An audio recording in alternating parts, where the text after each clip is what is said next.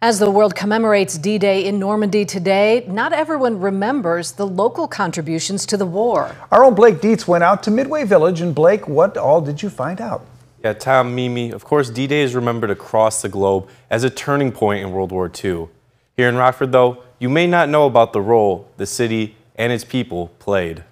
Rockford's Camp Grant really changed Rockford as well as it did support the war effort. As the world remembers the 80th anniversary of D Day, Rockford's Midway Village is preserving a piece of city history that played a vital role in the Allies' invasion of Normandy, France during World War II. The 80th of D Day is a good time to remember Rockford supported the war effort uh, with Camp Grant.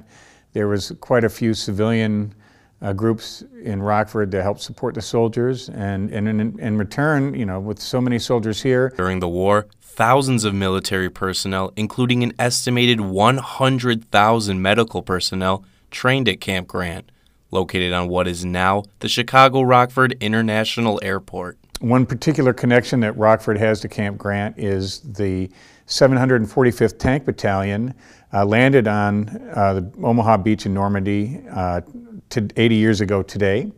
And most of the unit was made up of soldiers who were uh, trained at Camp Grant. So that's uh, quite, a, quite a unique thing for Rockford's heritage. One of five tank battalions to land on Normandy during D Day, the Camp Grant trained battalion endured some of the greatest challenges of the entire war. They were the tip of the spear. They were, um, they were saw the worst of the fighting. The Aachen and Battle of Bulge and Normandy and D Day it didn't get any hairier than that. It didn't get any more profound, and and uh, that was the, the the, the the difficult slog to get uh, Europe um, back in control for the Allies. Midway Village is set to open an exhibit dedicated to Camp Grant around the new year. Mimi. All right, thanks, Blake.